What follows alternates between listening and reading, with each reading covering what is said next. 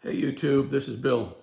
Uh, this is going to be a part two of the video I just did comparing, it was a kind of a shootout between the S1 Pro and this QSC CP8. And if you watch that video, it was a draw. Both uh, speakers are excellent. Uh, you have to just pick which one for the, for the occasion. With the S1 Pro is the wonderful battery powered unit, super lightweight, even lighter weighted than this.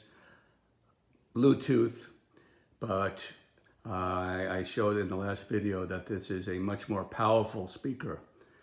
I didn't do a demo, I didn't do a sound demo, so I thought I would do that this time.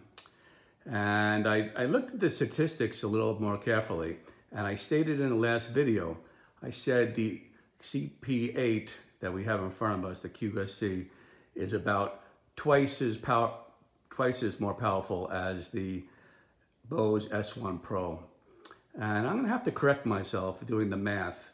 So let's go back. The S1 Pro, it, the maximum statistic from Bose is 109 decibels. And I said uh, you, the two of the S1 Pros would equal one CP8. And I think that's where I was mis mistaken. So let's do the math again. So 109 dBs is the max.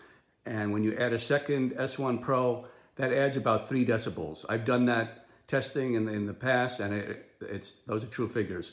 So let's say the two S1 Pros are 112 decibels. Well, the CP8 in front of us here, the QSC, goes up to 124 decibels. So if you do the math, 124 minus 112, that's 12 decibels greater still from this single speaker. And again, I said in the last video or previous videos that acoustic science tells us anything over 10 dB is doubling of sound uh, pressure or what, what, what we perceive with our ears. We will perceive double the volume. So this is past 10 dB, this is 12 dB. So my correction, I'm gonna say that one CP8 is equal to four S1 Pros, maybe even a little more, maybe four plus. So I want to show you the sound demo. Um, it's, it's super clean. And the fact is, it's always the S1 Pro super clean at volume, but this particular speaker can keep going and going. It has that headroom that the S1 Pro does not have. Today, I'm not running in battery power. I'm not using Bluetooth. So I'm doing pretty much a standard setup that people that own the CP8 would use because I, I, mentioned it's more of a live sound speaker, so uh, live sound musicians aren't using Bluetooth as much. They're not using battery power. They, they, they want to depend on the AC. So that's why I'm doing a more traditional setup today. And of course, I'm still using the wonderful Bose S Sub 1. And it just had a firmware update, and I haven't found its red line. It's just, it's super loud for its size. In my book, it is the best mobile sub out there. It's the lightest that performs anything like this. It's 35.5 pounds. It's kind of like a big suitcase. Think of, a, think of a loaded suitcase going to the airport. That's about the form factor of the Sub 1 and how it feels. So, so I got one QSC CP8 on top, 21 pounds, with a pole and one subwoofer this is, this is a real micro system. So in, in my eyes, maybe this might be bettering the, the, the previous micro system that I had said was so impressive. But that was two speakers. That was two S1 Pros. So anytime you can lighten your load, instead of carrying two S1 Pros, two poles, uh, it makes a big difference. So let's see, I'm ready for the sound test and let's see how it sounds. Let's talk about the price of this QSC system, CP8. And I'll tell you one thing, it's a great time to be in the market for a small system like this. There's just so many choices at a pretty good price. Okay, so the CP8 uh, is $400. Then we talked about matching it up with a Bose Sub 1 for $800.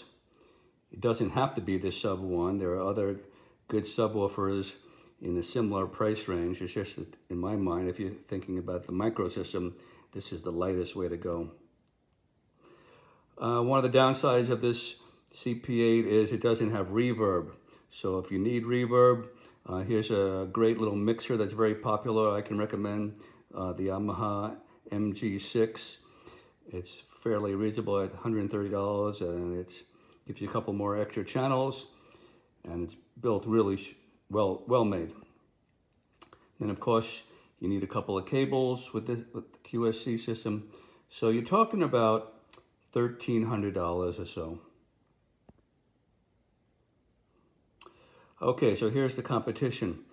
For the same price, $1,200, you, you can get the Bose L1 Pro 8, which is a brand new system out this year. Of course, it has the reverb built in. It has the Bluetooth. It's very light, 31 pounds. So it's even lighter than the um, Sub 1 base unit, which is 35.5. And let's look at some of this statistics. It's 240 watts is the base unit. Okay, so when you're looking at the sub one with the QSC package, that's, that's more powerful. It's 480 watts, so it's twice the power. So again, some of the confusion that people are thinking is they, the L1 Pro 8 has the same exact racetrack driver as the Sub 1. Same size, same driver, but the power is, is double on the Sub 1. So you're getting real subwoofer performance of the Sub 1 with the QSC system, where the L1 Pro is excellent, I've heard it, but it's not going to give you the subwoofer performance of a dedicated subwoofer. Okay, another favorite system out there, and I, I, I own this system, is the EV30M. Again, it has all your reverb, Bluetooth, everything built in for $1,300. And it's powerful. It goes up to 123 dB, which is right there with the QSC system, which is 124. But again, it goes right here, it goes down to 51 hertz on the low end, with the sub one on the QSC system goes down to 40. And again, this 51 hertz is doing mid, mid bass, where the sub one is just doing low end. So it's gonna be a much different low end performance. Again, the QSC system will be uh, more of a full range system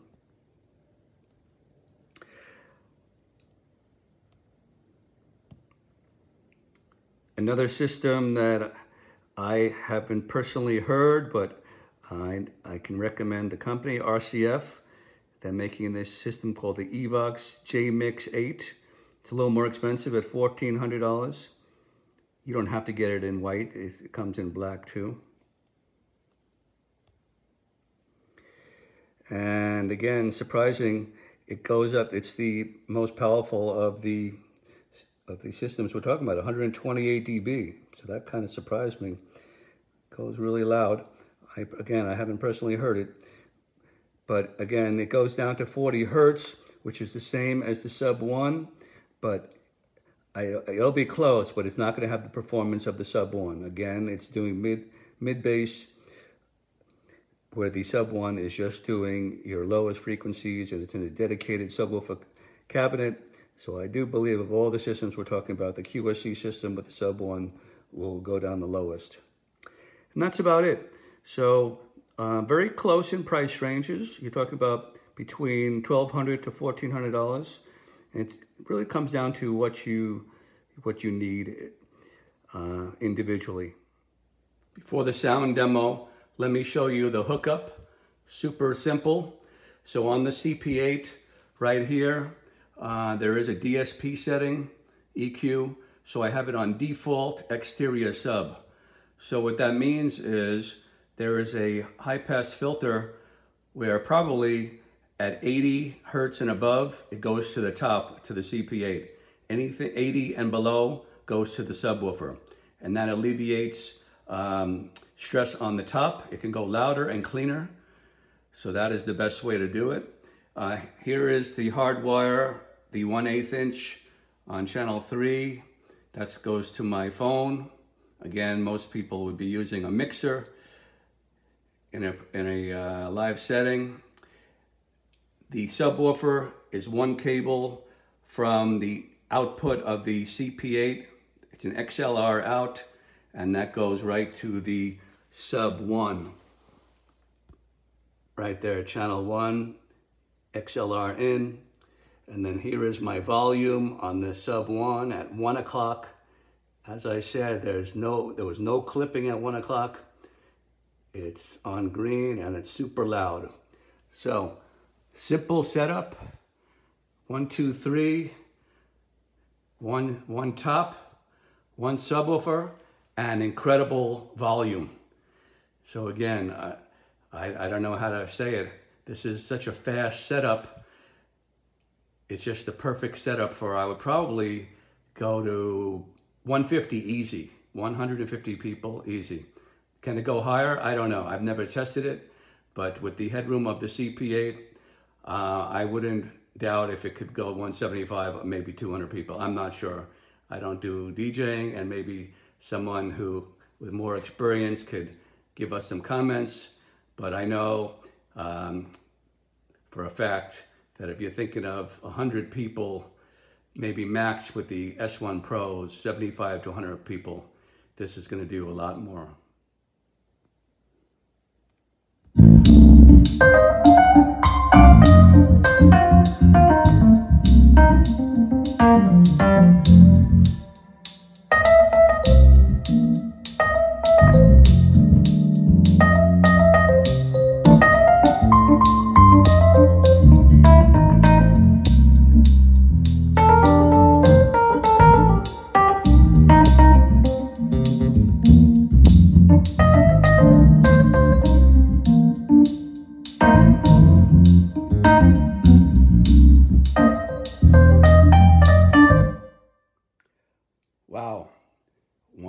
105.3. And the maximum was nowhere near. I had set this up previously. I checked it before I did the video. There was no, no clipping light. The, the source, which is the, this, the iPhone, is at only 80%. So I got still more, way, of, way more headroom on the source. And the subwoofer is at 12 noon. Again, nowhere near clipping. I checked it and the sub was nice and strong. So this is, this is, in my opinion, now, after all this testing, this is the best micro system because it's only one speaker. So sure, if I got two CP8s, that would be even better. But, but you know, the more you get, the more you have to carry. But as a small system, quick out the door, quick load in and out, one CP8 on top, one pole, one sub one at 35.5. I would have to say this is this is my best micro system that I've come up with. Incredible. Of course, uh, you're going to use a mixer probably. You're not going to use Bluetooth. You're going to hardwire it. Most people say it sounds better uh, than Bluetooth anyhow. So very, very impressed. The sound was crystal clear. I hope you can hear that. The bass was strong. So Hope you enjoyed. Short video. Later.